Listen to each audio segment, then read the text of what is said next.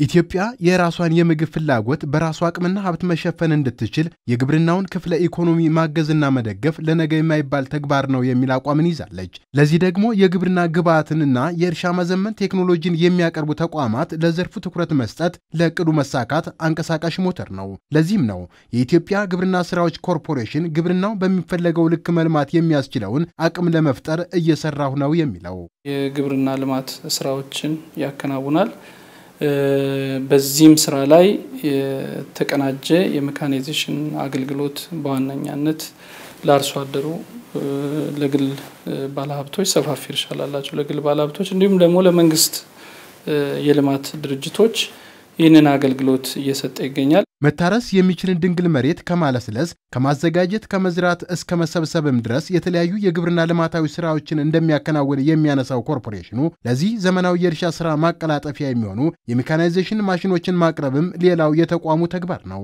የእርሻ መሳሪያዎችን ዘመናዊ የእርሻ መሳሪያዎችን በተለይ አስተማማኝ እና ጥራት ያላቸውን የእርሻ መሳሪያዎችና መለዋወጫዎች ከአብዛኛው ጊዜ የአውሮፓ ስሪት የሆኑ የእርሻ መሳሪያዎችና መለዋወጫዎች ነው የምናስመጣው ከጀርመን ሀገር፣ ከጣሊያን ሀገር እና እንዲሁም ከሌሎቹ የአውሮፓ ሀገራት በማስመጣት በተመጣጣኙ ዋጋ ለአርሶና አርብቶ አደሩ፣ ሰፋፊ እርሻ ላላቸው ለግል ባለሀብቶች እንዲሁም ደግሞ ለመንግስት የልማት ድርጅቶች በማቅረብ ላይ ይገኛል። ኮርፖሬሽኑ በሽያጭ ብቻ ሳይሆን የኪራይ አገልግሎትም ይሰጣል። የምግብ ፍላጎትን ለማሟላት አርሶ አደሩ ከተለመደው በበሬ የማረስ ልምድ ወደ ተሻለ መንገድ ለማሸጋገር የእርሻ ማሽኑን ከማቅረብም ባለፈ የሙያና የእርሻ ማሽኖችንም ችግር በጥገና የመፍታት ድጋፍም የኮርፖሬሽኑ ሌላው ተግባር መሆኑን የኮሚኒኬሽን ኃላፊው ይናገራሉ።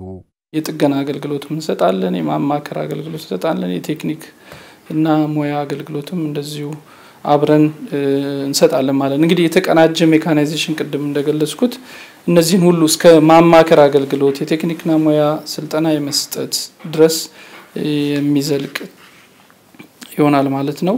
ካለፈው 2013 ዓ ም ጀምሮ ለሜካናይዜሽን ግብርናው መዘመን ጉልህ ሚና ያላቸውን 58 የእርሻ ማሽኖችም ወደ ሀገር ውስጥ ማስገባት ተችሏል። በ2013 በጀት ዓመት Deutz-Fahr የሚባል ጣሊያን ሰራሽ ከ110 እስከ 180 የፈረስ ጉልበት ያለው ዘመናዊ ትራክተር በቁጥር 58 የሚሆን ከ2013 በጀት ዓመት ጀምሮ ወደ ሀገር ውስጥ እያስገባን ነው።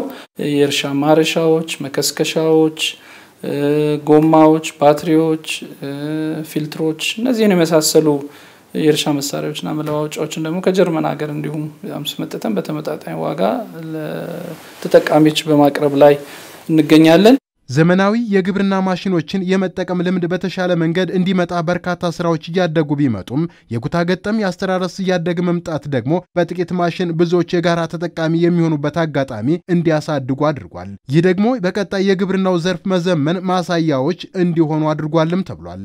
አሁን ደግሞ እየታየ ያለው ምንድነው? በማህበር እየተደራጁ ይሄ ኩታ ገጠም እርሻዎች ላይ ልምድ ስላለ ስለዚህ ሰብሰብ ብለው አንድ ትራክተርን ለበርካታ እየገዙ የሚጠቀሙበት ሁኔታ እኛም እያጋጠመን ያለን።